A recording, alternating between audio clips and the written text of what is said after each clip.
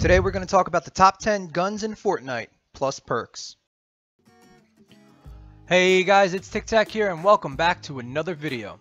Today we're going to be talking about the guns, the top 10 best guns in Fortnite as of right now. Some of these are opinion based, most of these are fact based because just some of the guns do not cut it in this game.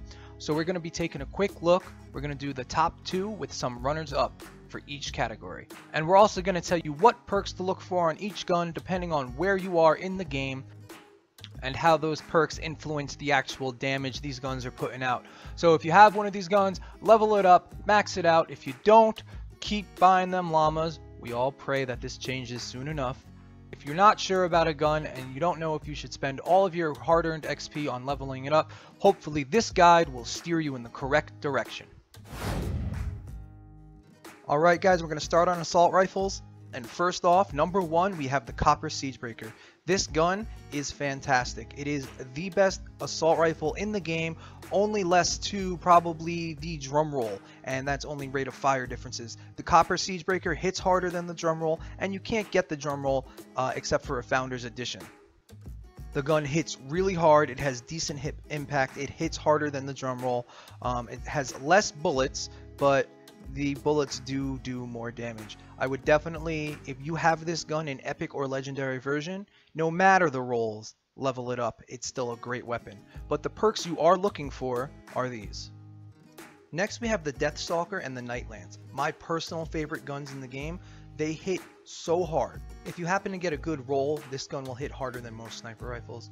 Um, it is a hybrid of an assault rifle mixed with a sniper rifle. It shoots three round bursts does incredible amount of damage, about 1500 per bullet. So you're looking at 4500 damage per per button click. It's a very powerful gun. It hits very hard at mid range. Um, if, like I said, if you're going to be a soldier and you want to stay afar, this is the gun for you. And the reason you want extra headshot damage on this gun and not an elemental change is because once the big guys get close, you're not going to be sniping them anyway. Uh, you're going to switch to one of your automatic weapons and try to take them out quickly. So the extra headshot damage, because that's what you'll be aiming for, is essential to making this gun as good as it can be. And an honorable mention to the Copper Hunter Killer. Uh, you need the right perks on this gun to actually make it perform well, uh, being headshot damage, critical hit damage, and stuff like that. Being a single shot assault rifle, um, you're really looking to increase your headshot damage by a lot. Shotguns are a bit of a personal preference. They each do two different things, um, but I found the Long Arm Enforcer to be the best shotgun in the game. It does amazing at close DPS, multiple target DPS. It is incredibly powerful. The impact is through the roof. It'll knock them down almost every shot. Really good gun. It'll burn through most big guys instantaneously. Uh, it's definitely a gun you want to keep around.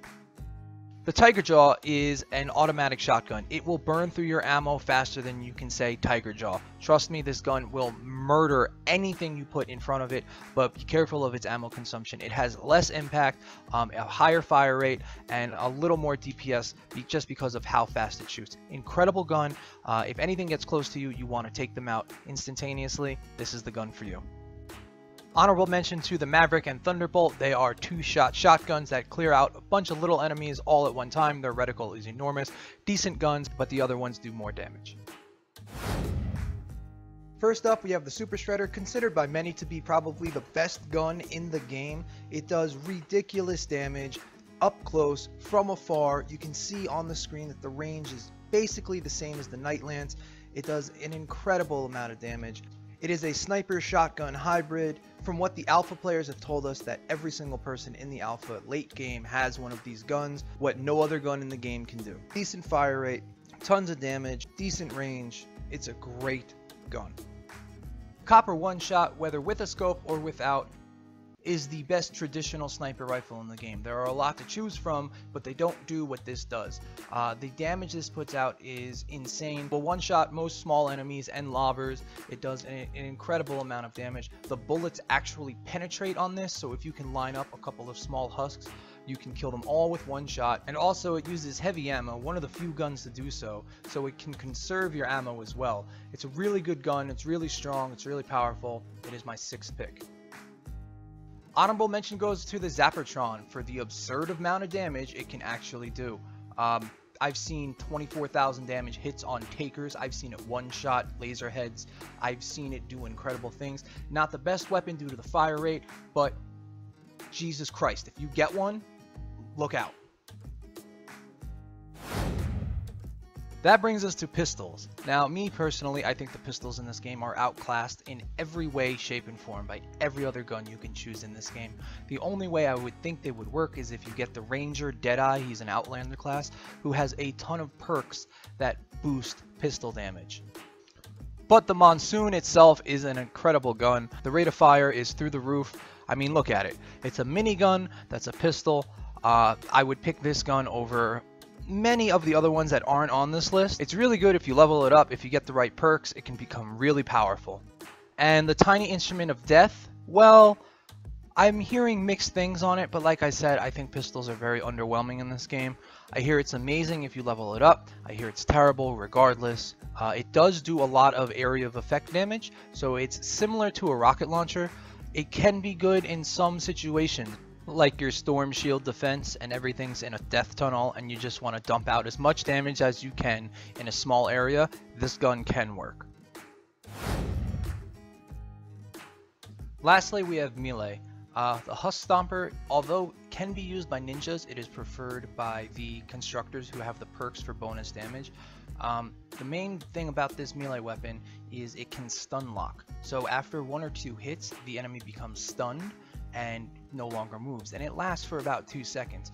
It does a decent amount of damage, not as much as a sword, but a decent amount. And like I said, can stun lock enemies.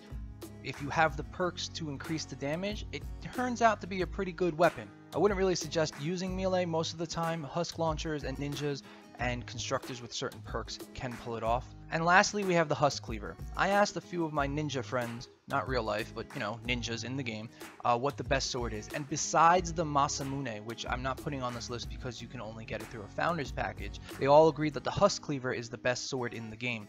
The attack speed is a little lower than the laser sword or the Masamune, but the raw damage numbers that this weapon puts up are quite high. So if you're going to use melee or you decide to, or if you're a ninja or constructor with the right perks, these are the two weapons I would recommend in Fortnite. Those are your top 10 guns for Fortnite, guys. I hope this video was insightful. I hope it helped you out.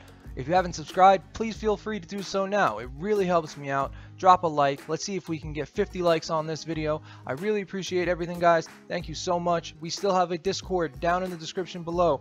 Uh, there's about 100 members strong. We do trading, playing, uh, SSDs. We do everything, guys. Hit us up. Thank you so much for watching. TikTak out.